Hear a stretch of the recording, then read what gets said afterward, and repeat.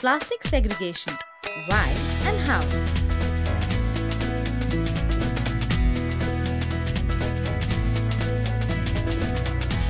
Things needed.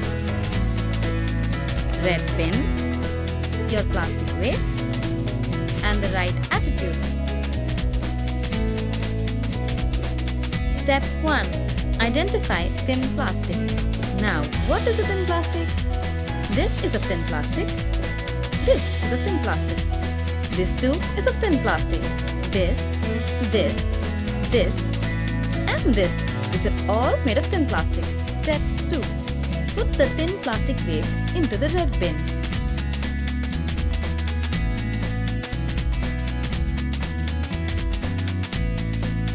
That's it. Now, the Corporation of Chennai will collect the thin plastic waste every Wednesday. Because plastic plus bitumen equals to awesome roads. Come on, let's be a part of the wow factor. Waste on Wednesdays. Plastic Salai. Say yes to plastic.